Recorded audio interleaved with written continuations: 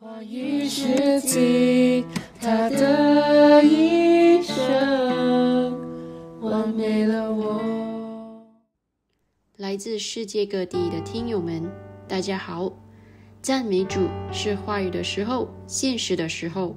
今天是五月二十四日，星期三。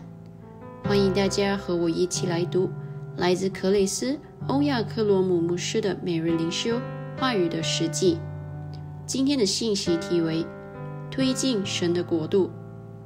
我们的开篇经文是马太福音第六章第十三节：“因为国度、权柄、荣耀，全是你的，直到永远。”阿门。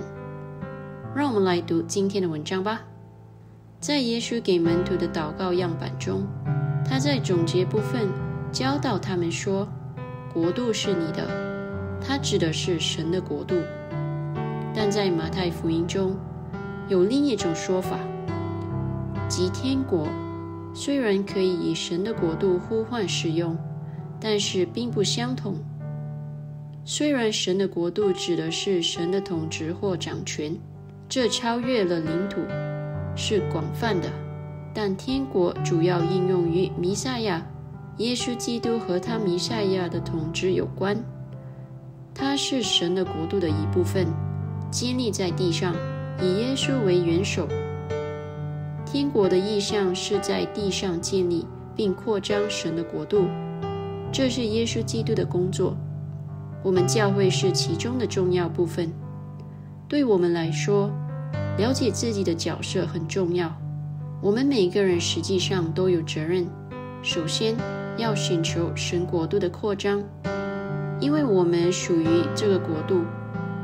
马太福音第六章第三十三节说：“但你们要先寻求神的国和他的义，所有这些东西都必加给你们了。”主给我们的命令。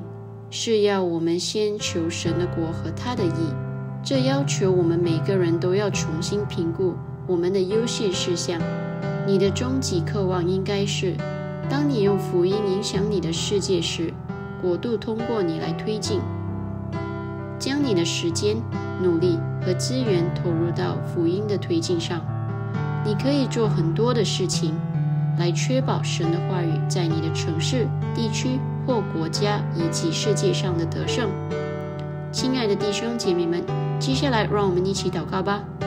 亲爱的天父，我下定决心，比以往任何的时候，都要把基督救赎的荣耀消息和他对人类的奇妙工作传播到地极。神的国度已经在我的心中建立起来。平安、美好、荣耀、恩典和他的生命，在我的灵里充分运作，在我身上，并通过我表达出来。通过我，神的国度在我的城市、地区、国家和世界中得胜，圣战归于神。如果想更多的了解今天的信息，我们鼓励您在学习期间。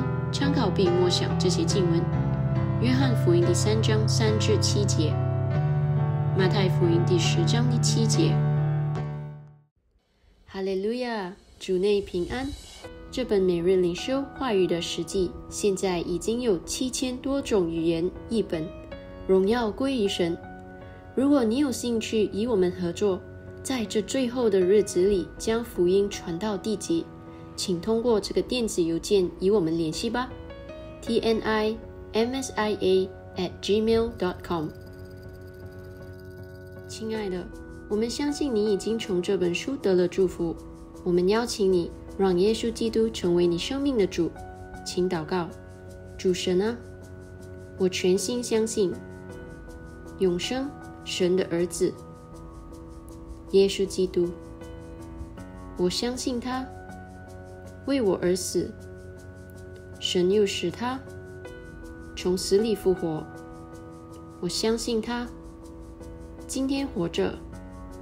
我口里承认，从今天开始，耶稣基督就是我生命的主。接着他，定他的圣名。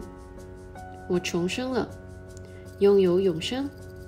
主，我感谢你，拯救了我的灵魂。现在我是神的儿女了。哈利路亚！恭喜你，现在你是神的儿女了。